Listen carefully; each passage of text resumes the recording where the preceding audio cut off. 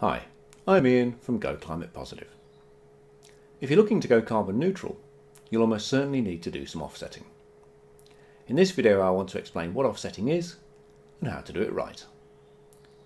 In video 7 I explained what carbon neutral means and that to achieve it we usually need a combination of reducing our own footprint and offsetting what we can't reduce. In an ideal world we do it all by reducing our own footprint and in the long term that's what we should all be looking to achieve. However, we can't wait for the long term to happen. We need to reduce our emissions as soon as we possibly can. And that's where offsetting comes in. Offsetting is a way to invest in projects that produce carbon savings somewhere else, usually in somewhere else in the world. Now one of the good things about carbon savings, unlike most other environmental impacts, is it doesn't matter where you do them, because global warming is caused by the total amount of carbon in the atmosphere.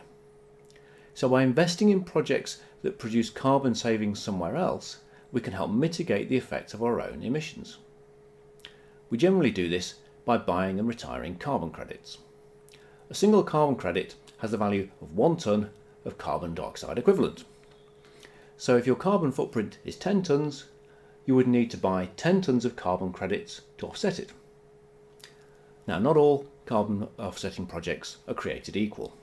And so if we're going to do it, it's really important to know that your offsetting is achieving the desired goal. And that's why I recommend using offsets that are independently verified by organisations such as the Gold Standard or the Verified Carbon Standard. Now tree planting is another favourite way of offsetting your carbon footprint and it's great because it has other ecological benefits as well. However, you need to know that for tree planting to be effective as an offset, the trees need to be alive for at least 100 years.